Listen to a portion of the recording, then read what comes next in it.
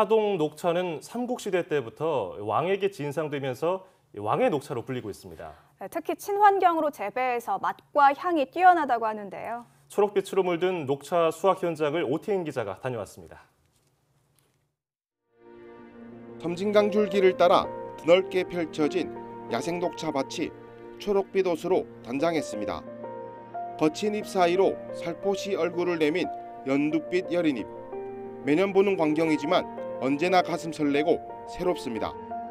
농민들은 행여나 다칠세라 하나하나 정성스레 잎을 따냅니다. 어, 새순이 나왔고 부드러워서 지금 따고 있는데 이거 사람한테 좋다고 그래요. 음력 3월 고구를 전후에 가장 먼저 올라온 잎으로 만든 녹차 우전은 애호가들 사이에 지상품으로 꼽힙니다.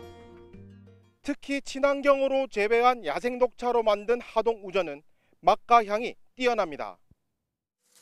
1200년 유구한 역사와 함께해온 하동 녹차는 수확부터 제품 생산까지 일일이 손으로 작업하는 전통 방식을 지키고 있습니다. 이처럼 지극정성이 담긴 하동 녹차는 세계 7개국 고급차 시장에서 그 맛과 향을 인정받아 지난해에만 170만 달러의 수출을 기록했습니다.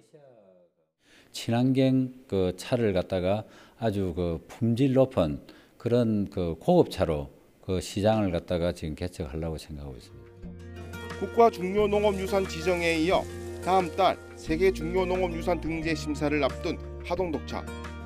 본격 수확이 시작된 하동 녹차가 국내를 넘어 세계적인 차로 자리매김할 수 있기를 기대해 봅니다.